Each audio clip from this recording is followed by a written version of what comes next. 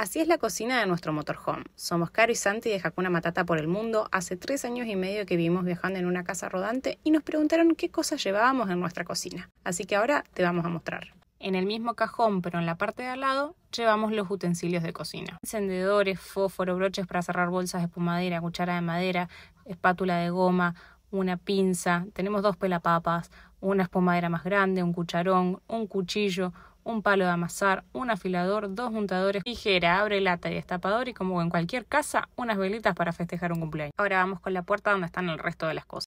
Dos cafeteras, una italiana y la otra de prensa, la pava, el espacio donde va la esponja y la rejilla, un rallador, bolsas separadoras para el freezer, una mini pimer con batidora, embudo y tapas de silicona.